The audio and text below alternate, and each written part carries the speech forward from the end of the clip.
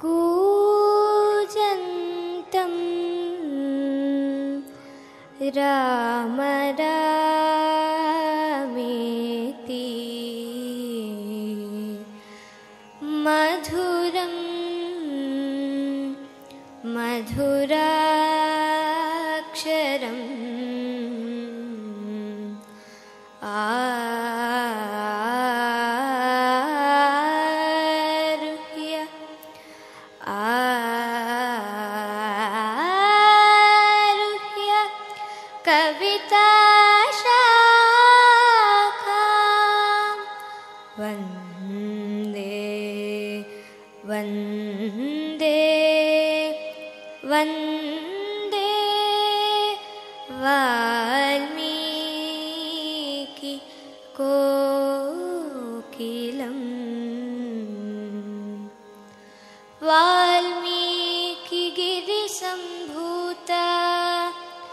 रामसागरगामिनी।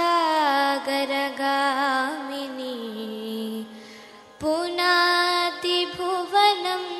पुण्या रामा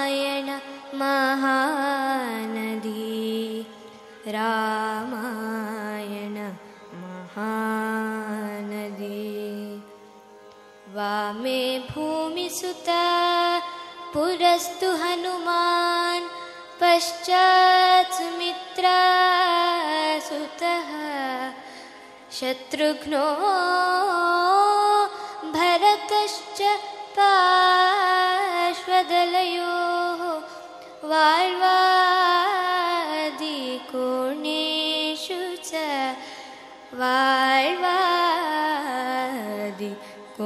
वार्वादिकोणेषु च सुग्रीः सुग्रीवश्च विभीषणश्च युवराट तारासुतो जाम्भवान्।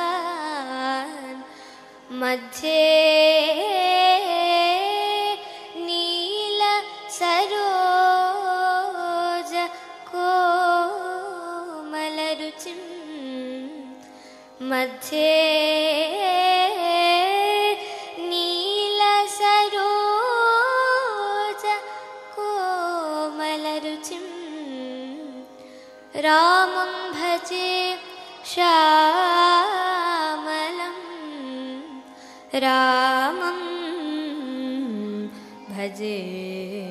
ശ്യാമലം.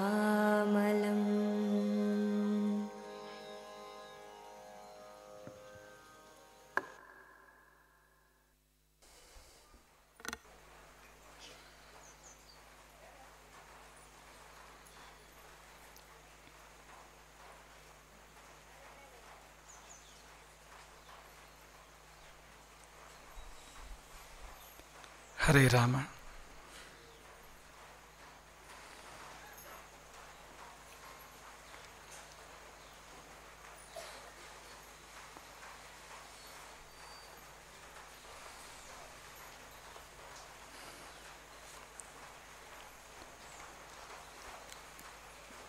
ಕರುಣ ರಸದ ಕೋಡಿ ವರಿವ ಕಟಾಕ್ಷದ ಪರತತ್ವ ವರೂಪ ವಾಲಾಪದ ವರಪುಣ್ಯಮಯ ಶರೀರದ ನಿರಾಭಾರಿ ಗುರುವಿರಲಿ ಎನ್ನ ಮಾನಸದಿ ಆ ಸದ್ಗುರುವಿರಲಿ ಎನ್ನ ಮಾನಸದಿ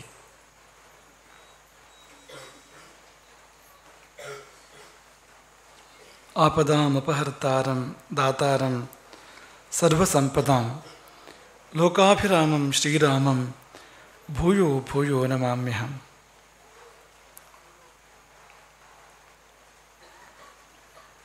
ಕಳೆದ ಬಾರಿಯ ಶ್ರೀ ಸಂದೇಶದಲ್ಲಿ ಸಂತೋಷದ ಕುರಿತಾಗಿ ಕೆಲವು ಮಾತುಗಳನ್ನು ಹೇಳಿದ್ದವು. ಸುಖದ ಕುರಿತಾಗಿ ಕೆಲವು ಮಾತುಗಳನ್ನು ಹೇಳಿದ್ದವು. ಈ ಬಾರಿ ಸುಖ ಬರುವ ದಾರಿ. ಸುಖ ಬರುವ ದಾರಿ. ಆ ಕುರಿತು ಸಂಕ್ಷಿಪ್ತ ಸಂದೇಶ. ಏಕೆಂದರೆ ಜೀವನದಲ್ಲಿ ಸುಖ ಮುಖ್ಯ. ಯಾರು ಅಲ್ಲವೆಂದವರು? ಪ್ರತಿಯೊಂದು ಜೀವವೂ ಕೂಡ ಬಯಸೋದು ಅದನ್ನೇ ಅಂತೆ. ಸುಖಂ ಮೇ ಭೂಯಾತ್, ಸುಖಂ ಮೇ ಭೂಯಾತ್. ನನಗೆ ಸುಖವಾಗಲಿ ಎಂಬುದೇ ಪ್ರತಿಯೊಂದೂ ಜೀವದ ಅಪೇಕ್ಷೆಯಂತೆ. ತಪ್ಪಲ್ಲ. ಸುಖವನ್ನು ಬಯಸುವುದು ತಪ್ಪಲ್ಲ, ಸುಖವನ್ನು ಪಡೆಯುವುದು ತಪ್ಪಲ್ಲ, ಸುಖವನ್ನು ಪಡುವುದು ಕೂಡ ತಪ್ಪಲ್ಲ. ಸುಖ ಪಡುವುದೇ ಬದುಕಿನ ಪರಮೋದ್ದೇಶ. ಅದರಲ್ಲೂ ಕೂಡ ಏನು ಸಂದೇಹ ಇಲ್ಲ. ಆದರೆ ಎಂಥ ಸುಖ ಅಂತ? ಆ ಸುಖ ಬಂದ ದಾರಿ ಯಾವುದು? ಹೇಗೆ ಬಂತು ಸುಖ ಎಂಬುದನ್ನು ನಾವು ಗಮನಿಸ್ಕೊಳ್ಳಬೇಕು. ಹಾಗಾಗಿ ಸುಖ ಮುಖ್ಯ. ಸುಖ ಬರುವ ದಾರಿ ಇನ್ನಷ್ಟು, ಮತ್ತಷ್ಟು ಮುಖ್ಯ, ಅತ್ಯಂತ ಮುಖ್ಯ. ಯಾಕೆಂದರೆ ಆ ದಾರಿಯಲ್ಲಿ ಬಂದರೆ ಮಾತ್ರವೇ ಸುಖ ಅದು. ಬರಬೇಕಾದ ದಾರಿಯಲ್ಲಿ ಬಂದರೆ ಮಾತ್ರವೇ ಸುಖ. ಒಂದು ವೇಳೆ ಯಾವುದೋ ದಾರಿಯಲ್ಲಿ ಬಂತು ಅಂದರೆ ಸುಖ ಅಲ್ಲ ಅದು. ಅದು ಸುಖಾಭಾಸ. ಸುಖದಂತೆ ಕಂಡರೂ ಕೂಡ ನಿಜವಾಗಿ ದುಃಖವೇ ಹೊರತು ಅದು ಸುಖ ಅಲ್ಲ. ಅದರ ಕೋಟಿಂಗ್ ಮಾತ್ರ ಸುಖದ್ದು. ಒಳಗಡೆಗೆ ದುಃಖ ಇದೆ, ಒಳಗಡೆಗೆ ಮುಳ್ಳಿದೆ. ಹಾಗಾಗಿ ನಮಗೆ ತುಂಬ ಜಾಗ್ರತೆ ಬೇಕು.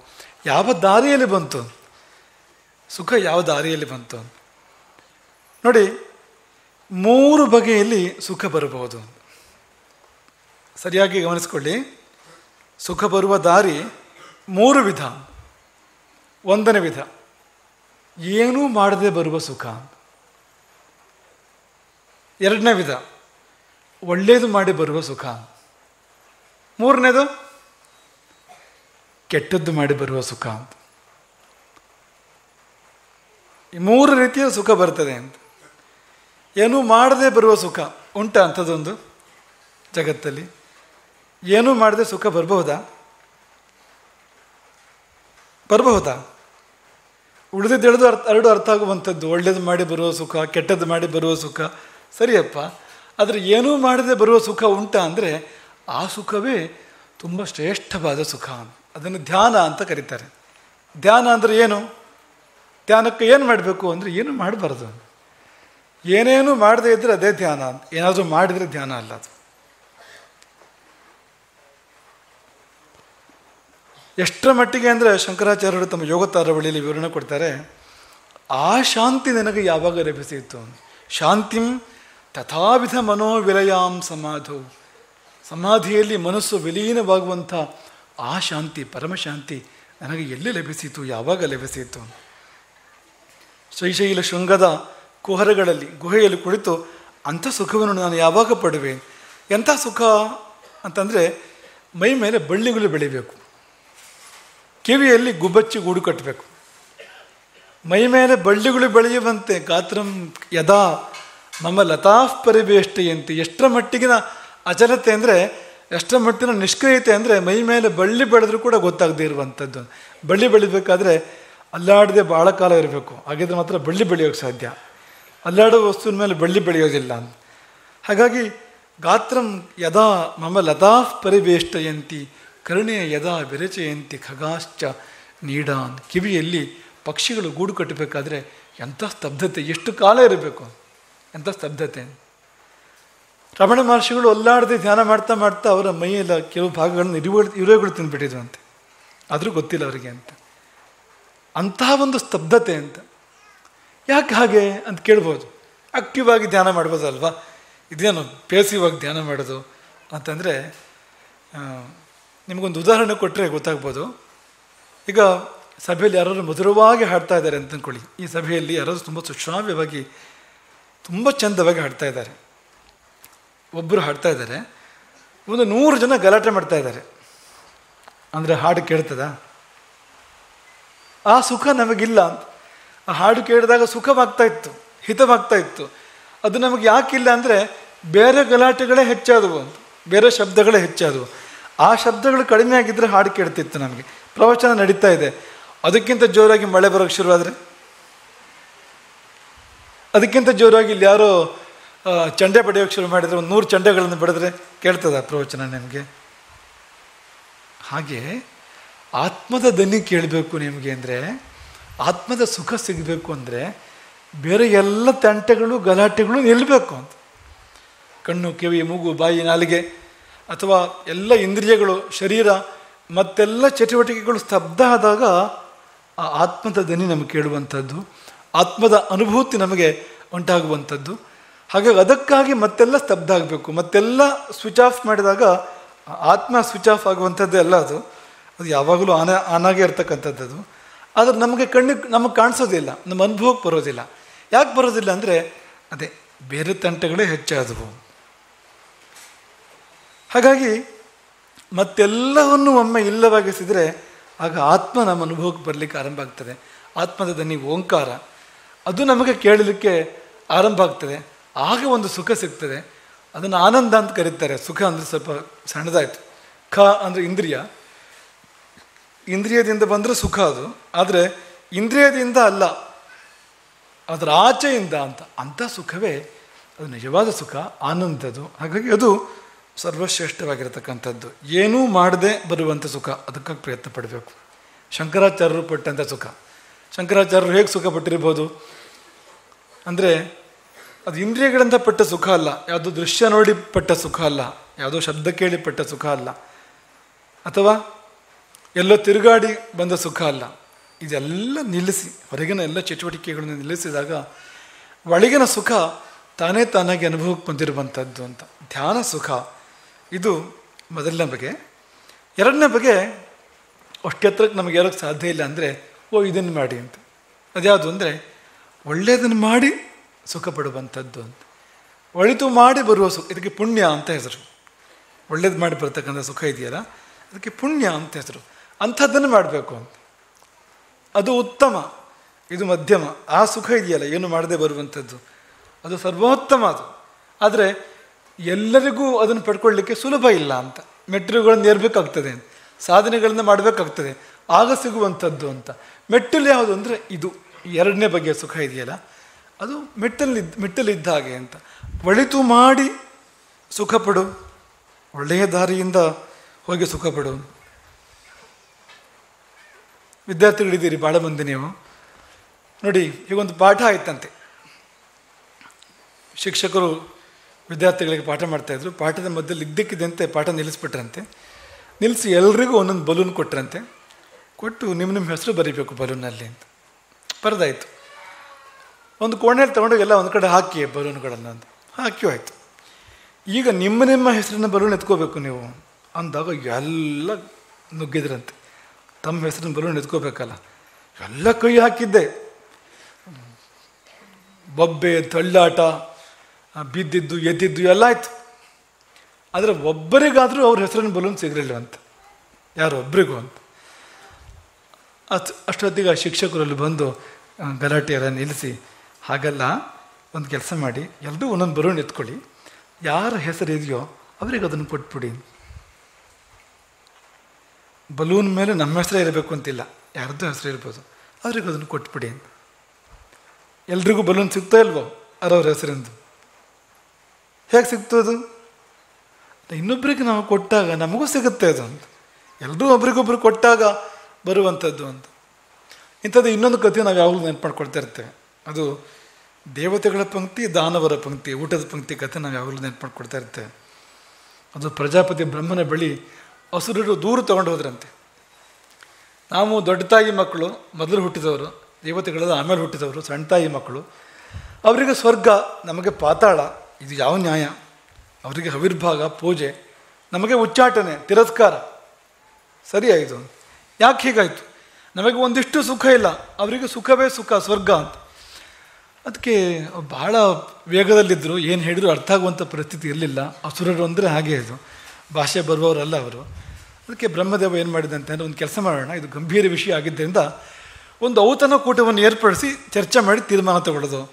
ಆ ಕುರಿತಾಗಿ ಅಂತ ಬ್ರಹ್ಮದೇವ ಹೇಳಿ ಒಂದು ಔತ ಔತನ ಕೊಟ್ಟು ಕರೆದನಂತೆ, ಪಂಕ್ತಿ ಬೇರೆ ಆಯಿತು. ದೇವತೆಗಳ ಪಂಕ್ತಿ ಬೇರೆ ಆಯಿತು. ರಾಕ್ಷಸರ ಪಂಕ್ತಿಯು ಬೇರೆ ಆಯಿತು. ಯಾಕೆಂದರೆ ಅವರು ಊಟ ಮಾಡೋ ರೀತಿಯೂ ಬೇರೆ. ಒಂದೇ ಪಂಕ್ತಿಯಲ್ಲಿ ಕೂತ್ರೆ ಬಹುಶಃ ಇವ್ರಿಗೂ ತೊಂದರೆ, ಅವರಿಗೂ ತೊಂದರೆ. ಬೇರೆ ಬೇರೆ ಭಾಗವಾಗಿ ಇಬ್ಬರು ಕೂತ್ಕೊಂಡು ಊಟ ಶುರು ಮಾಡ್ತಾರೆ. ಶುರು ಮಾಡಬೇಕು ತುತ್ತೆತ್ತಬೇಕು ಆಗ ಬ್ರಹ್ಮದೇವ ಒಂದು ನಿಯಮವನ್ನು ಘೋಷಣೆ ಮಾಡ್ತಾನೆ. ಆ ನಿಯಮ ಏನು ಅಂದರೆ, ಕೈಯನ್ನು ಬಗ್ಗಿಸದೆ ಊಟ ಮಾಡಬೇಕು ಅಂತ. ಕೈ ನೆಟ್ಟಗೆ ಇರಬೇಕು. ಈ ಮಧ್ಯೆ ಬಗ್ಗಬಾರ್ದು ಕೈ. ಈ ಮೊಣಕೈ ಈ ಜಾಗದಲ್ಲಿ ಬಗ್ಗಬಾರ್ದು ಅಂತ. ಊಟ ಮಾಡಬೇಕು ಅಂತ. ಅದು ಹಾಗೆ ಅದು ಹಾಗೆ ಅಂತ ಒಂದು ಚರ್ಚೆ ಶುರುವಾಯಿತು. ರಾಕ್ಷಸರು ಭಾಳ ಪ್ರಯತ್ನ ಪಟ್ಟರು ಏನೇ ಮಾಡಿದ್ರು ಹೀಗೆ ಹೋಗ್ತಾ ಉಂಟು, ಹೀಗೆ ಹೋಗ್ತಾ ಉಂಟು. ಆದರೆ ಬಾಯಿ ಹತ್ರ ಕೈ ಬರ್ತಾ ಇಲ್ಲ ಅಂತ. ನೋಡಿ, ನೀವು ಪ್ರಯತ್ನ ಮಾಡಿಬೇಕಾದ್ರೆ ಬರ್ತದೆ ಅಂತ. ಇಲ್ಲಿ ಬಗ್ಗಿಸ್ಬಾರ್ದು. ಬಾಯಿಗೆ ಬರಬೇಕದು.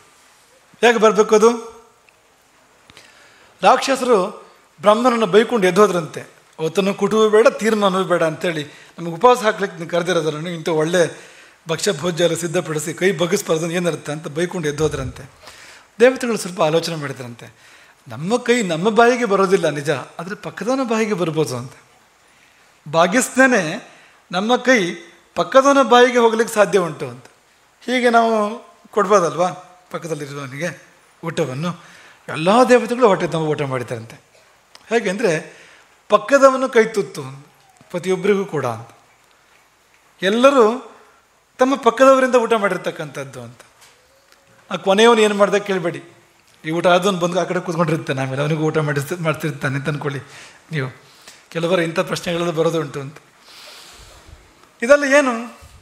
ಅಂದರೆ ಒಳ್ಳೆಯದನ್ನು ಮಾಡಿ ಬರುವಂಥ ಸುಖ ಅಂತ. ಇನ್ನೊಬ್ಬನಿಗೆ ಒಳ್ಳೆಯದನ್ನು ಮಾಡಿದಾಗ ಬರ್ತಕ್ಕಂಥದ್ದು ಅಂತ. ಅಥವಾ ದಾನ, ಧರ್ಮ, ಯಜ್ಞ, ತಪಸ್ಸು ಪರೋಪಕಾರ, ಇಂಥದ್ದನ್ನು ಮಾಡಿದಾಗ ಬರ್ತಕ್ಕಂಥದ್ದು ಅಂತ ಆ ಸುಖ ತುಂಬ ಶ್ರೇಷ್ಠವಾಗಿರ್ತಕ್ಕಂಥದ್ದು, ಅಂಥದ್ದು ಅಂತ. ಅದು ಎರಡನೇದು, ಪುಣ್ಯ ಮಾಡಿ ಬರುವಂಥದ್ದು. ಅಂತ ಮೂರನೇದು, ಕೆಟ್ಟದ್ದು ಮಾಡಿ ಬರುವಂಥದ್ದು. ಇದು ಸುಖ ಅಲ್ಲ. ಸುಖದಂತೆ ಕಾಣ್ತದೆ ಹೊರತು ನಿಜವಾಗಿ ಸುಖ ಅಲ್ಲ. ಅಂತ ಯಾಕೆಂದರೆ, ನೂಲಿನಂತೆ ಸೀರೆ ಅಂತ ಬಿಳಿಯ ನೂಲುಗಳಿಂದ ಕಪ್ಪು ಸೀರೆ ತಯಾರಾಗಲಿಕ್ಕೆ ಸಾಧ್ಯವಾ? ಇಲ್ಲ ಅಲ್ವಾ? ಬಿಳಿಯ ನೂರುಗಳಿಂದ ಬಿಳಿಯ ಸೀರೆಯೇ ತಯಾರಾಗಬೇಕು ತಾನೆ. ಹಾಗಾಗಿ ಕೆಟ್ಟದ್ದರಿಂದ ಒಳ್ಳೆಯದಾಗಲಿಕ್ಕೆ ಸಾಧ್ಯ ಇಲ್ಲ. ಕೆಟ್ಟದ್ರಿಂದ ಕೆಟ್ಟದಾಗ್ಬೋದು. ಒಳ್ಳೆಯದರಿಂದ ಒಳ್ಳೆಯದಾಗ್ಬೋದು ಕೆಟ್ಟದ್ದು ಮಾಡಿ ಸುಖ ಬರುವುದು ಅಂತಿಲ್ಲ. ಒಂದು ವೇಳೆ ಬಂದರೆ ಅದು ತಾತ್ಕಾಲಿಕ ಅದು. ಅದೊಂದು ಭ್ರಮೆ ಮಾತ್ರ ಅದು. ಮುಂದೆ ದೊಡ್ಡ ದುಃಖ ಕಾದಿದೆ. ಮಾಡಿದ ಕೆಟ್ಟದಕ್ಕೆ ಮುಂದೆ ತುಂಬ ದೊಡ್ಡ ದುಃಖ, ದೊಡ್ಡ ಅನರ್ಥ ಕಾದಿದೆ. ಅದೊಂದು ಮೋಸ ಅದು. ಕ್ಷಣಿಕವಾಗಿ ಸಂತೋಷವಾದ ಭ್ರಮೆಯನ್ನುಂಟು ಮಾಡಿ ಮುಂದೆ ನಮ್ಮನ್ನು ದೊಡ್ಡ ಕೂಪಕ್ಕೆ ನೂಕುವಂಥದ್ದು ಬಂತದ್ದು ಪಾಪ ಅಂತ ಹೆಸರು ಅದಕ್ಕೆ ಕೆಟ್ಟದ್ದು ಮಾಡಿ ಬರುವಂಥ ಸುಖ ಅಂದರೆ ಅದಕ್ಕೆ ಪಾಪ ಅಂತ ಹೆಸರು ಅದರ ಪರಿಣಾಮ ಒಳ್ಳೇದಾಗಲಿಕ್ಕಿಲ್ಲ ಅಂತ. ಈಗ ಉದಾಹರಣೆಗೆ ಕೈಕೇಯಿ. ಕೈಕೇಯಿಗೆ ಒಂದು ಆಲೋಚನೆ ಬಂತು. ಅಥವಾ ಅವಳಿಗೆ ಬಂದಿದ್ದಲ್ಲ, ಮಂಥರೆ ಅವಳ ಮನಸ್ಸಿನ ಒಂದು ಆಲೋಚನೆಯನ್ನು ತಂದಳು, ಒಂದು ಅಪೇಕ್ಷೆಯನ್ನು ಹುಟ್ಟಿಸಿದಳು. ಅದೇನು ಅಂದರೆ, ನೀನು ರಾಜಮಾತೆ ಆಗಬೇಕು ಇಲ್ಲಿವರೆಗೂ ನೀವು ರಾಜನ ಪಟ್ಟದ್ರಾಣಿಯಾಗಿದ್ದೆ. ಮುಂದೆ ದೊರೆ ದಶರಥನ ನಂತರ ಬೇರೆಯವರು ಬರುವಾಗ ನಿನ್ನ ಸ್ಥಾನ ಏನಾಗ್ಬೋದು? ನೀನು ರಾಜಮಾತೆ ಆಗಬೇಕು ಅಂತ. ನೀನು ರಾಜಮಾತೆ ಆಗಬೇಕು ಅಂದರೆ ಭರತ ರಾಜನಾಗಬೇಕು. ಭರತ ರಾಜನಾದಾಗ ನೀನು ರಾಜನ, ರಾಜಮಾತೆ ಆಗ್ತೀಯ. ಅದಕ್ಕೆ ಕೌಸಲ್ಯ ರಾಮ ರಾಜನಾಗಿ ಬಿಟ್ಟರೆ ಕೌಸಲ್ಯ ರಾಜಮಾತೆ ಆಗ್ತಾಳೆ. ರಾಮನ ಮೇಲೆ ಇರಲಿಲ್ಲ ಕೈಕೇಯಿಗೆ ಅದರ ಕೌಸಲ್ಯ ಮೇಲೆ ತುಂಬ ಉಂಟು ಸವತಿ ಮಾತ್ಸರ್ಯ. ಹಾಗಾಗಿ ಕೌಸಲ್ಯ ರಾಜಮಾತೆ ಆಗುವಂಥದ್ದು ಅವಳಿಗೆ ಸೇರಿಸ್ಕೊಳ್ಳಿಕ್ಕೆ ಸಾಧ್ಯ ಇಲ್ಲ.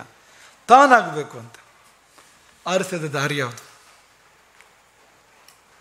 ಒಳ್ಳೆ ದಾರಿ ಅಲ್ಲ ಅಂತ. ಅದು ದುರುಪಯೋಗದ ದಾರಿ. ಎಂದೋ ರಾಜ ಕೊಟ್ಟ ಎರಡು ವರಗಳ ದುರುಪಯೋಗದ ದಾರಿ ಅದು. ಮತ್ತು ವಂಚನೆಯ ದಾರಿ.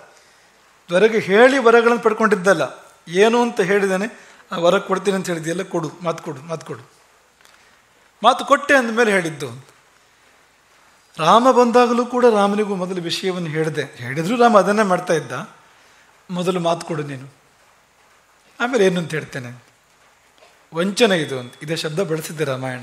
ದಶರಥ ರಾಮನಿಗೆ ಹೇಳುವಂಥದ್ದು, ನನಗೇನು ವಂಚನೆ ಆಯಿತೋ, ಅದರಿಂದ ನೀನು ನನ್ನನ್ನು ಪಾರು ಮಾಡುವವನು ಆ ವಂಚನೆಯಿಂದ. ವಂಚನ ಯಾ ತು ಲಬ್ಧಾಮೆ ಅಂತ. ಅದೇ ಶಬ್ದ ಬಳಸಿದ್ದಾನೆ ಅಂತ. ಏನೆಲ್ಲ ಆಯಿತು ಪರಿಣಾಮ ಅಂತ. ಅವಳು ಎಲ್ಲ ಸುಖಕ್ಕೂ ಕಾರಣನಾಗಿದ್ದಂಥ ದಶರಥ. ಅವಳ ಜೀವನದಲ್ಲಿ ಅವಳಿಗೆ ಯಾವ ಸುಖ ದಶರಥ ಕೊಡಲಿಲ್ಲ. ಅಂತಹ ದಶರಥ ನೊಂದು ನೊಂದು ನೊಂದು ಯಾವ ಮಟ್ಟಕ್ಕೆ? ಪ್ರಾಣ ಹೋಗುವ ಮಟ್ಟಕ್ಕೆ. ಇವಳು ವಿಧವೇ ಆದಳು. ಕೈಕೇಯಿ, ಇಡೀ ರಾಜ್ಯ ಕೈಕೇಯನ್ನು ತಿರಸ್ಕಾರ ಮಾಡ್ತು. ಎಲ್ಲಿ ಹೋದರೂ ಅಪವಾದ, ಎಲ್ಲಿ ಹೋದರೂ ಕೆಟ್ಟ ಮಾತು, ಎಲ್ಲರೂ ಶಪಿಸುವವರೇ ಕೈಕೇಯಿ. ಬೇಕಾ ಇಂಥ ಸುಖ? ಹೋಗಲಿ, ಕೊನೆಗೆ ಭರತನಾದರೂ ಒಪ್ಕೊಂಡ ಅಂದರೆ ಭರತನ ಪಾಲಿಗೆ ತಾಯಿ, ತಾಯಿಯಾಗಿ ಉಳಿಯಲೇ ಇಲ್ಲ. ರಾಕ್ಷಸಿ ಅಂತ ಕರೀತಾನೆ. ಭರತ, ಕೈಕೇಯಿಯನ್ನು, ತನ್ನ ತಾಯಿಯನ್ನು ರಾಕ್ಷಸನೇನು ರಾಕ್ಷಸಿ ತತ್ರ ಜಾತಾಸಿ ಕುಲ ಪ್ರಧ್ವಂಸಿನಿ ಪಿತು ಅಶ್ವಪತಿಯ ಕುಲದಲ್ಲಿ ಇಂಥವಳೊಬ್ಬಳು ಹುಟ್ಟಿರಲ್ಲ, ತಂದೆಯ ಕುಲವನ್ನು ಧ್ವಂಸ ಮಾಡುವಂಥ ರಾಕ್ಷಸನೇನು ಅಂತ ಅದೇ ಭರತ ಹೇಳುವಂತಾಯಿತು. ಅವನಿಗೂ ಕೂಡ ಭರತನಿಗೂ ಕೂಡ ಸಂತೋಷ ಆಗಲಿಲ್ಲ. ಹಾಗಾಗಿ ಕೊನೆಯಲ್ಲಿ ಕೈಕೇಯಿಗೆ ಯಾವ ಸಂತೋಷವೂ ಉಳಿಯಲಿಲ್ಲ ತಿರಸ್ಕಾರ ಉಳಿದಿದ್ದು? ದೋಷ ಉಳಿದಿದ್ದು ಹೊರತು ಬೇರೆ ಏನೂ ಅಲ್ಲ ಹಾಗಾಗಿ ಕೆಟ್ಟದ್ದನ್ನು ಮಾಡಿ ತಾತ್ಕಾಲಿಕವಾಗಿ ಅವಳಿಗೆ ಒಂದು ಸ್ವಲ್ಪ ಸಂತೋಷ ಆಗಿದೆ. ದಶರಥ ಅನಿವಾರ್ಯವಾಗಿ ವರವನ್ನು ಕೊಟ್ಟಾಗ, ರಾಮ ಕಾಡಿಗೆ ಹೊರಟು ನಿಂತಾಗ ಆಯಿತು ತನ್ನ ಕೆಲಸ ಅಂತ. ಅದು ಖುಷಿಯಲ್ಲಿ ಇದ್ಲಂತ ಅವಳು. ದಶರಥ ಗತಿಸಿದ್ರೂ ಕೂಡ ಅವಳು ದುಃಖದಲ್ಲಿ ಇರಲಿಲ್ಲ. ಭರತ ಮರಳಿ ಬಂದಾಗ ಚಿನ್ನದ ಪೀಠದ ಮೇಲೆ ಭಾರಿ ವೈಭವವಾಗಿ ಕೂತ್ಕೊಂಡಿದ್ಲು ಅಂತೇಳು ಅಂತಃಪುರದಲ್ಲಿ. ಭರತ ಬಂದು ಎಲ್ಲಿ ತಂದೆ ಅಂತ ಅದೆಲ್ಲ ಇರಲಿ. ನೀನು ಯಾವಾಗ ಹೊರಟೆ, ಯಾವಾಗ ಬಂದು ತಲುಪಿದೆ, ಎಷ್ಟು ಉಡುಗೊರೆ ಕೊಟ್ಟರು ಅಲ್ಲಿ? ಇಂಥದ್ದೇ ಅವಳು ಕೇಳಿದ್ದು ಅಂತ. ಅಂದರೆ ತಾತ್ಕಾಲಿಕವಾಗಿ ಸುಖ ಅವಳಿಗೆ ಬಂದಿದ್ದು ಹೌದು. ಆದರೆ ಮುಂದೆ ಅದಕ್ಕಿಂತ ಎಷ್ಟೋ ದೊಡ್ಡ ದುಃಖ, ನೋವು ಮತ್ತು ಅಪವಾದಗಳು ಬಂದು ನೋಡಿ. ಎಷ್ಟು ಬೇಕಾದ್ರೂ ಉದಾಹರಣೆ ಸಿಗ್ತದೆ ಅದಕ್ಕೆ. ಪ್ರಪಂಚಕ್ಕೆ ಅಥವಾ ಜನರಿಗೆ, ಬೇರೆಯವರಿಗೆ ಕೆಟ್ಟದ್ದು ಮಾಡಿ ಸುಖ ಪಡಲಿಕ್ಕೆ ಹೋದವರು ಕೊನೆಗೊಂದು ದಿನ ಅದರ ಫಲವನ್ನು ಉಂಡಿದ್ದಾರೆ ಈ ಸುಖಕ್ಕಿಂತ ಎಷ್ಟೋ ಮಿಗಿಲಾದ ದುಃಖ ಅವರಿಗೆ ಬಂದಿದೆ ಹತ್ತಾರು ವರ್ಷ ಸುಖಪಟ್ಟಿದ್ದು, ಸಾವಿರಾರು ವರ್ಷ ನರಕದಲ್ಲಿ ವಾಸ ಮಾಡುವಂಥದ್ದು, ನರಕದಲ್ಲಿ ಬೇಯುವಂಥದ್ದು ಬೇಗ ಇದು. ತಂದೆಯನ್ನು ಕೊಂದು ರಾಜ್ಯವನ್ನು ತೆಗೆದುಕೊಳ್ಳುವಂಥದ್ದು, ಹತ್ತಾರು ವರ್ಷ ರಾಜ್ಯಭಾರ ಮಾಡುವಂಥದ್ದು, ಆದರೆ ಶಾಶ್ವತವಾಗಿ ರೌರವ ನರಕದಲ್ಲಿ ಬೇಯುವಂಥದ್ದು ಮುಂದೆ. ಹಾಗಾಗಿ ಈ ಮೂರು ದಾರಿಗಳು ಏನೂ ಮಾಡದೆ ಬರುವ ಸುಖವನ್ನು ನಾವು ಅಪೇಕ್ಷೆ ಪಡಬೇಕು. ಅಂತಹ ಸುಖ ಬಂದರೆ ನಮಗೆ ಮುಕ್ತಿ ಇದು ಅಂತ. ಅಂತಹ ಸುಖ ಬಂದರೆ ನಾವು ದೇವರಾಗ್ತೇವೆ ಅಂತ. ಅಂತಹ ಸುಖ ಬಂದರೆ ನಾವು ಶಂಕರಾಚಾರ್ಯರಾಗ್ತೇವೆ. ನಾವು ಸದಾಶಿವ ಬ್ರಹ್ಮೇಂದ್ರರಾಗ್ತೇವೆ ಅಂತ ಸುಖ ಬಂದಾಗ ಅಂತ. ನಾವು ಶುಕಮುನಿಗಳಾಗ್ತೇವೆ. ಎರಡನೇದು ಸತ್ಕಾರ್ಯಗಳನ್ನು ಮಾಡು. ಕೆಟ್ಟದ್ದನ್ನು ಮಾಡಿಬಿಡ ಒಳ್ಳೆಯದನ್ನು ಮಾಡು, ಸುಖ ಬರ್ತದೆ ಅಂತ. ನಿಮಗೆ ಮೊದಲೇ ಹೇಳಿದ ಹಾಗೆ ಇದೇ ಕಾರಣಕ್ಕಾಗಿ ರಾಮ ರಾಜ್ಯವನ್ನು ಒಪ್ಕೊಳ್ಳಿಲ್ಲ ಅಂತ. ಅದು ಒಳ್ಳೆ ದಾರಿಯಲ್ಲಿ ಬರ್ತಾ ಇಲ್ಲ ಅದು. ಬೇಡ ನನಗದು. ತಂದೆಯ ಮಾತು ಸುಳ್ಳು ಮಾಡಿ, ನನ್ನ ಮಾತನ್ನು ಸುಳ್ಳು ಮಾಡಿ, ಆ ಸುಳ್ಳಿನ ಮೂಲಕ ಬರುವ ರಾಜ್ಯ ಅದು ನನಗೆ ಸ್ವೀಕಾರ ಅಲ್ಲ ಅಂತ. ರಾಜ್ಯ ಬರಲಿ, ಆದರೆ ಬರಬೇಕಾದ ದಾರಿಯಲ್ಲಿ ಬರಲಿ. ಹಾಗಾಗಿ ಈ ಸುಖ ಬರುವ ದಾರಿಯ ಕುರಿತು ನಮಗೆ ತುಂಬ ಜವಾಬ್ದಾರಿ ಬೇಕು. ಅದಕ್ಕೆ ಧರ್ಮ ಅಂತ ಹೆಸರು. ಅದು ಬರಬೇಕಾದ ದಾರಿಯಲ್ಲಿ ಬಂತು ಅಂದರೆ ಅದಕ್ಕೆ ಧರ್ಮ ಅಂತ ಹೆಸರು. ಧರ್ಮದ ದಾರಿಯಲ್ಲಿ ಬರುವ ಸುಖವನ್ನೇ ನಾವು ಅಪೇಕ್ಷೆ ಪಡಬೇಕು. ಅಯೋಧ್ಯೆಯಲ್ಲಿ ಇದ್ದ ಸುಖ ಈ ಪರಿಯ ಸುಖ. ಹಾಗಾಗಿಯೇ ತಸ್ಮಿನ್ ಪುರವರೇ ಹೃಷ್ಟಾಹ ಧರ್ಮಾತ್ಮಾನ. ಮುಂದಿನ ಶಬ್ದ ಅದು ಅಂತ. ತಸ್ಮಿನ್ ಪುರವರೇ ಆ ಶ್ರೇಷ್ಠವಾದ ನಗರಿಯಲ್ಲಿ, ಅಯೋಧ್ಯೆಯಲ್ಲಿ ಹೃಷ್ಟಾಹ. ಎಲ್ಲ ಸಂತೋಷವಾಗಿದ್ದರು ಯಾಕೆಂದರೆ ಧರ್ಮಾತ್ಮಾನ. ಧರ್ಮಾತ್ಮರಾಗಿದ್ದರು ಧರ್ಮದ ದಾರಿಯಿಂದ ಬರುವ ಸುಖವನ್ನು ಅನುಭವಿಸಿ ಎಲ್ಲರೂ ಕೂಡ ನೆಮ್ಮದಿಯಿಂದ ಇದ್ದರು ಇದೆರಡನ್ನೂ ಮನಸ್ಸಲ್ಲಿಟ್ಕೊಳ್ಳಿ. ಸುಖವನ್ನು ಬಯಸಿ, ಸುಖವನ್ನು ಪಡೆದುಕೊಳ್ಳಿ, ಸುಖವನ್ನು ಪಡಿ ಏನು ತಪ್ಪಿಲ್ಲ. ಆದರೆ ಆ ಸುಖ ಯಾವ ದಾರಿಯಲ್ಲಿ ಬಂತು ಅನ್ನೋದನ್ನು ನೋಡಿ. ಎಲ್ಲ ದಾರಿಯಲ್ಲಿ ಬರೋ ಸುಖ ಬೇಡ. ಯಾಕೆಂದರೆ ಸುಖದ ವೇಷ ತೊಟ್ಟು ದುಃಖ ಬರ್ಬೋದು ಸುಖದ ದು ವೇಷ ತೊಟ್ಟು ಪಾಪ ಬರ್ಬೋದು ಕೇಡು ಬರ್ಬೋದು ಆ ಸುಖವನ್ನು ನಾವು ಪಡಬಾರ್ದು. ಅಂಥ ಸುಖವನ್ನು ನಾವು ನಿರಸ್, ತಿರಸ್ಕರಿಸ್ಬೇಕು, ನಿರಾಕರಿಸ್ಬೇಕು. ಅದೇ ಒಳ್ಳೆ ದಾರಿಯಲ್ಲಿ ಬಂದರೆ ಇನ್ನೊಬ್ಬರಿಗೆ ಒಳ್ಳೇದು ಮಾಡಿ ನಮಗೆ ಸುಖ ಬರೋದಾದರೆ, ಶುಭದ ಕಾರ್ಯವನ್ನು ಮಾಡಿ ನಮಗೆ ಸುಖ ಬರುವುದಾದರೆ ಶಂಕರಾಚಾರ್ಯ ಹೇಳ್ತಾರೆ ನೋಡಿ, ಎಲ್ಲ ಫಸೆ ನಿಜ ಕರ್ಮೋಪಾತ್ತಂ ವಿತ್ತಂ ತೇನ ವಿನೋದಯ ಚಿತ್ತಂ. ವಿನೋದಯ ಚಿತ್ತಂ ಅಂದರೆ ಸುಖ ಪಡುವಂತ, ನಿನ್ನ ಮನಸ್ಸಿಗೆ, ನಿನ್ನ ಮನಸ್ಸನ್ನು ಸಂತೋಷಪಡಿಸಿಕೋ ಅಂತ ಹೇಗೆ ಅಂದರೆ ನಿಜ ಬಿತ್ತಂ ವಿತ್ತಂ ನಿಜ ಕರ್ಮದಿಂದ ಬಂದ ವಿತ್ತ, ನಿಜಕರ್ಮದಿಂದ ಬಂದ ಸಂಪತ್ತು, ಅದರಿಂದ ಸಂತೋಷ ಪಡಬೇಕು. ನಿಜಕರ್ಮ ನಿಜ ಕರ್ಮ ಅಂದರೆ ಯಾವುದು? ಯಾವುದು ನಾನು ಮಾಡಬೇಕಾಗಿತ್ತು ಅದನ್ನು ಮಾಡಿದರೆ ಬರುವ ಸುಖ ಅಂತ. ಮಾಡಬೇಕಾದುದನ್ನು ಮಾಡಿದಾಗ ನಿಜಕರ್ಮ ಅಂದರೆ ಅದು ಅಂತ. ಯಾವುದು ನನಗೆ ಕರ್ತವ್ಯವಾಗಿತ್ತೋ, ಯಾವುದು ನನಗೆ ಮಾಡಬೇಕಾದುದಾಗಿತ್ತೋ, ಅಂಥದ್ದನ್ನು ಮಾಡಿದಾಗ ಬರುವಂಥ ಸುಖ ಇದೆಯಲ್ಲ? ಅದನ್ನು ಮಾತ್ರ ಅಪೇಕ್ಷೆ ಪಡು. ಅದರಿಂದ ಸಂತೋಷಪಡು. ಅದು ಬಿಟ್ಟು ಬೇರೆ ಜಾತಿಯ ಸುಖ ಬಂದರೆ ಮಾಯೆ ಬಂತು ಅಂತ ಅನ್ಕೋ ಮೋಸ ಆಗ್ತಾ ಇದೆ ನಿನಗೆ, ಆತ್ಮಕ್ಕೆ ವಂಚನೆ ಆಗ್ತಾ ಇದೆ ಅಂತ ಅನ್ಕೋ ಆ ಸುಖವನ್ನು ತಿರಸ್ಕರಿಸು. ಸುಖವಾಗಿರು, ಚೆನ್ನಾಗಿರು. ಹಾಗಾಗಿ ಬಂದಿದ್ದು ನಿಜವಾಗಿ ಸುಖವೋ ಅಥವಾ ಬಿಂದು ಸುಖ, ಸಿಂಧು ದುಃಖವೋ ಅಂತ ಗೊತ್ತಾಗಬೇಕಾದ್ರೆ ಬಂದ ದಾರಿಯನ್ನು ನೋಡಬೇಕು ಅಂತ. ಯಾವ ದಾರಿಯಲ್ಲಿ ಬಂತದ್ದು ಹೇಗೆ ಬಂತದ್ದು ಕಳ್ಳತನ ಮಾಡಿ ಬಂತ? ನಮಗೆ ರಾಮಭದ್ರಾಚಾರ್ಯ ಒಂದು ಕಥೆನ ಯಾವಾಗಲೂ ನೆನಪು ಮಾಡ್ತಾ ಇದ್ರು ಅಂತ. ಒಬ್ಬ ಸನ್ಯಾಸಿ ಶ್ರೀಮಂತರೊಬ್ಬರ ಮನೆಯಲ್ಲಿ ಭಿಕ್ಷೆಯನ್ನು ಸ್ವೀಕಾರ ಮಾಡ್ತಾನೆ. ಹೋಗ್ತಾ ಅವ್ರ ಮನೆ ಬೆಳ್ಳಿ ಲೂಟ ಕೊದ್ಕೊಂಡು ಹೋಗ್ಬಿಡ್ತಾನೆ. ಅಲ್ಲೇ ಬೆಳ್ಳಿ ಬಂಗಾರ ಅವ್ರ ಮನೇಲಿ ಇದ್ದಿದ್ದು. ಆಮೇಲೆ ಮಧ್ಯಾಹ್ನ ಆಯಿತು, ಸಾಯಂಕಾಲ ಆಯಿತು ಹಸಿವಾಯಿತು ಆ ಉಂಡ, ಅನ್ನ ಎಲ್ಲ ಕರಗಿ ಹೋಯ್ತು. ಆಗ ಬೋಧ, ನಾನು ಈ ಬೆಳ್ಳಿ ಲೋಟ್ರಿ ಯಾಕೆ ತಂದೆ ಅಂತ. ನನಗೆ ಸಂಬಂಧ ಇಲ್ಲ ಇದು. ಅವ್ರ ಮನೆ ಇದು. ಓಡೋಡಿ ಮರಳಿ ಆ ಶ್ರೀಮಂತನಿಗೆ ಮನೆಗೆ ಬಂದು ಆ ತಟ್ಟೆಯನ್ನು ಅವನಿಗೆ ಕೊಟ್ಟು, ಕೇಳಿದ ಪ್ರಶ್ನೆ, ನಿಜವಾಗಿ ಹೇಳು, ಈ ಸಂಪತ್ತು ಬಂದ ದಾರಿ ಯಾವುದು ಅಂತ. ಅದು ಕಳ್ಳತನ ದಾರಿಯಲ್ಲಿ ಬಂದಿತ್ತು ಆ ಸಂಪತ್ತೆಲ್ಲ. ಹಾಗಾಗಿ ಅವ್ರ ಮನೆ ಊಟ ಮಾಡಿದವನಿಗೂ, ಊಟ ಮಾಡಿದ ಸಂತನಿಗೂ ಕಳ್ಳತನದ ಬುದ್ಧಿ ಬರಬೇಕಾದ್ರೆ, ನೋಡಿ, ಬರುವ ದಾರಿ ಎಷ್ಟು ಮುಖ್ಯ ಅಂತ. ಕಳ್ಳತನದ ದಾರಿಯಿಂದ ಬಂದ ಸಂಪತ್ತು ಅಂಥವನು ಹಾಕಿದ ಊಟ. ಆ ಊಟ ಮಾಡಿದ ಮಾತ್ರಕ್ಕೆ ನಮಗೂ ಕಳ್ಳತನದ ಬುದ್ಧಿನೇ ಬರ್ತದೆ ಅಂತಾದರೆ ಎಷ್ಟು ಜವಾಬ್ದಾರಿ ಬೇಕು ನೋಡಿ ಅಂತ, ಎಷ್ಟು ಎಚ್ಚರ ಬೇಕು ಅಂತ. ಹಾಗಾಗಿ ಸುಖದ ಮೇಲೆ ಕಣ್ಣಿಡಿ, ಅದಕ್ಕಿಂತ ಮುಖ್ಯವಾಗಿ ಸುಖ ಬರುವ ದಾರಿಯ ಮೇಲೆ ಕಣ್ಣಿಡಿ. ಮೂರು ಬಗೆಯಲ್ಲಿ ಮೊದಲೆರಡು ಬಗೆಯನ್ನು ಆರಿಸ್ಕೊಳ್ಳಿ. ಕೊಟ್ಟ ಕೊನೆಯಲ್ಲಿ ಮೊದಲ ಬಗೆಯಲ್ಲಿ ನಿಂತ್ಕೊಳ್ಳಿ. ಏನು ಬೇಕಾಗಬಾರ್ದು ನೋಡಿ, ಎಷ್ಟು ಒಳ್ಳೆಯದು ಹಾಗೇನಾದ್ರು ಇದ್ದರೆ ಈಗ ನಮ್ಗೆ ಸುಖ ಪಡಬೇಕು ಅಂದ್ರೆ ಏನಾದ್ರು ಬೇಕು ನಮಗೆ.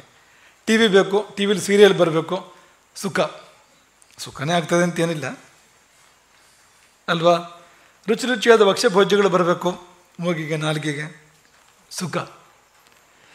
ಹೀಗೆ ನಾವು ಡಿಪೆಂಡೆಂಟ್, ನಾವು ಅಧೀನ ಅಂತ.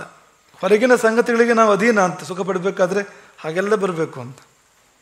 ಏನು ಮಾಡಿದೆ ಸುಖ ಬರೋದಾಗಿದ್ರೆ? ಎಷ್ಟು ಚೆನ್ನಾಗಿರೋದು ಅಂತ. ಅದೊಂದು ನಿಮಗೆ ಹೇಳಿದ ಉದಾಹರಣೆ, ಇನ್ನೊಂದು ಬಗ್ಗೆ ಹೇಳ್ತಾರೆ ಅದನ್ನೇ ಅಂತ. ಅದೇನಂದ್ರೆ ಸಮುದ್ರದ ಬದಿಲಿ ನಿಂತ್ಕೊಂಡು ಅವನು ದೇವದತ್ತ, ಅವನ ಮುಖದ ಮೇಲೆ ದೊಡ್ಡ ನಗು ಬಂತಂತೆ, ಭಾರಿ ಖುಷಿ ನಗು. ಅದಕ್ಕೆ ತೆನಾಲಿ ರಾಮ ಕೇಳಿದಂತೆ, ನಿನಗೆ ನಗು ಬಂತಲ್ಲ ಯಾಕೆ ಅಂತ. ಇಲ್ಲಿ ಒಂದು ಕಲ್ಪನೆ ಬಂತು, ಹಾಗಾಗಿ ನಗು ಬಂತು ಅಂತ. ಏನು ಕಲ್ಪನೆ ನಿಂದು ಅಂದರೆ ಅದಕ್ಕೆ ಅವನು ಒಂದು ತನ್ನ ಕನಸನ್ನು ಹೇಳಿದಂತೆ. ನನಗೆ ಒಂದು ದೊಡ್ಡ ಕೆಲಸ ಸಿಕ್ಕಿದ್ರೆ, ದೊಡ್ಡ ಸಂಬಳ ಬಂದಿದ್ದರೆ ಒಂದು ಒಳ್ಳೆ ಹುಡುಗಿ ಜೊತೆಗೆ ಮದುವೆ ಆಗಿದ್ದರೆ ನನಗೊಂದು ನಾಲ್ಕಾರು ವಾಹನಗಳು ನನ್ನಲ್ಲಿ ಇದ್ದಿದ್ರೆ, ಆನೆ ಕುದುರೆ, ಮೇನೆ ಎಲ್ಲ ಇದ್ದಿದ್ರೆ ಎಷ್ಟು ಚೆನ್ನಾಗಿರೋದು ಅಂತ. ಆಯಿತು, ಇದೆಲ್ಲ ಪಡ್ಕೊಂಡ ಮೇಲೆ ಏನು ಮಾಡ್ತೀಯ ಅಂತ. ಏನು ಮಾಡೋದು? ಹೀಗೆ ಕಾಲು ಚಾಚಿ ಆರಾಮವಾಗಿ ಸಮುದ್ರವನ್ನು ನೋಡ್ತಾ ಗಾಳಿ ಬೆಸ್ತಾ ಇರ್ತದೆ. ಖುಷಿ ಈಗಲೇ ಮಾಡ್ಬೋದಲ್ಲ ಅದನ್ನು ಅಂತ. ಇಷ್ಟೆಲ್ಲ ಮಾಡಿದ ಮೇಲೆ ಅದು ಮಾಡೋದಕ್ಕಿಂತ ಈಗ ಅವಕಾಶ ಈಗಲೇ ಇದೆ. ಈಗ ಮಾಡಿಬಿಡು ಅದನ್ನೇ ಅಂತ. ಹಾಗೆ ಏನೂ ಇಲ್ಲದೆ, ಯಾವುದೇ ಪರಿಕರ ಇಲ್ಲದೆ ಯಾವುದೇ ಅಗತ್ಯ ಇಲ್ಲದೆ ಸುಖ ಪಡುವಂತೆ ಆಗಬೇಕು ಅಂತ. ಡಿಪೆಂಡೆಂಟ್ ಅಲ್ಲ ಇಂಡಿಪೆಂಡೆಂಟ್ ಸುಖ ಯಾವುದು? ಹೊರಗಿನ ಯಾವ ವಸ್ತುಗಳನ್ನು ಬಯಸದೇ ಬರುವ ಸುಖ ಯಾವುದು? ಆ ಸುಖ ಪಡಲಿಕ್ಕೆ ಸಾಧ್ಯ ಆದರೆ ನಾವು ನಿಜವಾಗಿ ನಿಜ, ನಿಜವಾಗಿ ಉದ್ಧಾರ ಆದ ಹಾಗೆ ಅದಕ್ಕೆ ನಾವು ಗುರಿ ಇಟ್ಕೋಬೇಕು. ಪೂರಕವಾಗಿ ಇದನ್ನು ಮಾಡ್ತಾ ಹೋಗೋಣ. ಯಜ್ಞ ದಾನ ತಪಸ್ಸು, ಪರೋಪಕಾರ ಇಂಥನ್ನೆಲ್ಲ ಮಾಡ್ತಾ ಹೋಗೋಣ ಅಂತ. ಆಗ ಸುಖದ ಮರಿಗಳು ಸಿಗ್ತವೆ ನಮಗೆ, ಸುಖದ ಬಿಂದುಗಳು ಸಿಗ್ತವೆ ನಮಗೆ. ಆ ಮೊದಲನೇದರಲ್ಲಿ ಸುಖದ ಸಿಂಧು ಸಿಗುವಂಥದ್ದು, ಪೂರ್ಣ ಸುಖ ಸಿಗುವಂಥದ್ದು. ಇದರಲ್ಲಿ ಅಂಶಾಂಶ ಸುಖಗಳು ಸಿಗ್ತವೆ, ಪೂರ್ಣ ಸುಖದ ಕಡೆ ನಮ್ಮನ್ನು ಲೀಡ್ ಮಾಡ್ತವೆ ಅವು. ಹಾಗಾಗಿ ಅಧಮ ಸುಖವನ್ನು ಬಿಟ್ಟು ಮಧ್ಯಮ ಮತ್ತು ಉತ್ತಮ ಸುಖದ ಕಡೆಗೆ ನಮ್ಮ ಲಕ್ಷ್ಯವನ್ನು ಇರಿಸಿಕೊಳ್ಳೋಣ. ರಾಮ ನಡೆದ ದಾರಿಯದು ರಾಮಾಯಣ ಅಂದ್ರೇನು ರಾಮ ನಡೆದ ದಾರಿ ಅಂತ. ರಾಮಾಯಣ, ರಾಮನ ಹೆಜ್ಜೆ, ರಾಮನ ಗತಿ ಅಂತ. ಅದು ಇದೆ. ಬೇರೆ ಏನೂ ಅಲ್ಲ. ಆ ಗತಿ ಆ ಅಯನ ಅದು ನಮ್ಮೆಲ್ಲರದಾಗಲಿ. ರಾಮ ಎಲ್ಲರ ಮೇಲೆ ಹಾಕಿ ಕೃಪೆ ಮಾಡಲಿ. ಹರೇ ರಾಮ. ಗೋಕರ್ಣ ಮಂಡಲಾಧೀಶ್ವರ ಶ್ರೀಮಂತ ಜಗದ್ರಿಂಗರಾಜಾರ್ ಶ್ರೀಮತ್ ರಾಘವೇಶ್ವರ ಭಾರತಿ ಸ್ವಾಮಿ ಮಹಾರಾಜ ಕೀ. ವಿದ್ಯಾರ್ಥಿಗಳಿಗೆ ಒಂದು ಸೂಚನೆ. ಈ ಮೂರು ಉದಾಹರಣೆ ಮೂರು ದಾರಿಗಳನ್ನು ಹಿಡಿದೇವಲ್ಲ ಸುಖ ಬರುವ ದಾರಿ. ಮೂರಕ್ಕೂ ಮೂರು ಮೂರು ಉದಾಹರಣೆಗಳನ್ನು ನೀವು ಹುಡುಕಬೇಕು. ಮೂರು ಬಗೆಯ ಸುಖ ಬರುವ ದಾರಿಗಳನ್ನ ಹೇಳ್ತವಲ್ಲ? ಏನೂ ಮಾಡದೆ ಬರುವ ಸುಖ, ಒಳ್ಳೇದು ಮಾಡಿ ಬರೋ ಸುಖ ಕೆಟ್ಟದ್ದು ಮಾಡಿ ಮೂರು ಮೂರು ಉದಾಹರಣೆಗಳು ನಾವು ಕೈ ಕೈಗೆ ಉದಾಹರಣೆ ಕೊಟ್ಟರು ಆ ಥರ ಅದನ್ನು ಬಿಟ್ಟು ಮೂರು ಮೂರು ಉದಾಹರಣೆಗಳನ್ನು ಕೊಡಬೇಕು. ಆರ್ಯ ಸುಧನ್ವ ಅದನ್ನು ಸಂಗ್ರಹ ಮಾಡ್ತಾರೆ ನಿಮ್ಮ ಕಡೆಯಿಂದ. ಆರ್ಯ ಸುಧನ್ವರ ಕೈಯಲ್ಲಿ ನೀವು ಇದನ್ನು ಕೊಡಬೇಕು. ಮೂರು ಮೂರು ಉದಾಹರಣೆಗಳು ಒಂದೊಂದಕ್ಕೆ. ಪ್ರಾಮಾಣಿಕವಾಗಿರಿ, ಕಾಪಿ ಮಾಡಬೇಡಿ ಒಬ್ರದ್ದೊಬ್ಬರು ಮತ್ತು ಇನ್ನೊಬ್ಬರನ್ನು ಕೇಳಬೇಡಿ. ಅಂದರೆ ವಿದ್ಯಾರ್ಥಿಗಳನ್ನ ಯಾರನ್ನೂ ಕೇಳಬಾರ್ದು. ನೀವು ದೊಡ್ಡವ್ರನ್ನ ಕೇಳ್ಬೋದು ಬೇಕಾದರೆ. ಆದರೆ ವಿದ್ಯಾರ್ಥಿಗಳು ಪರಸ್ಪರ ಯಾರು ಯಾರನ್ನು ಕೇಳಬಾರ್ದು ಕಾಪಿ ಮಾಡ್ಬೋದು. ಪ್ರಾಮಾಣಿಕವಾಗಿರಿ. ಏನು ಚೆಕ್ಕಿಂಗಿಗೆ ಏನಾಗಲ್ಲ. ನಿಮ್ಮ ಆತ್ಮ ನಿಮ್ಮನ್ನು ನೋಡ್ತಾ ಇರುತ್ತೆ. ಹಾಗಾಗಿ ಪ್ರಾಮಾಣಿಕವಾಗಿ ನೀವೇ ಹುಡುಕಿ ಮೂರು ಮೂರು ಒಂಬತ್ತು, ಮೂರು ಮೂರಲ್ಲಿ ಒಂಬತ್ತು ಒಂಬತ್ತು ಉದಾಹರಣೆಗಳನ್ನ ನೀವು ಆರ್ಯ ಸುಧನ್ವರ ಕೈಯಲ್ಲಿ ಕೊಡಬೇಕು. ಹರಿರಾಮ್.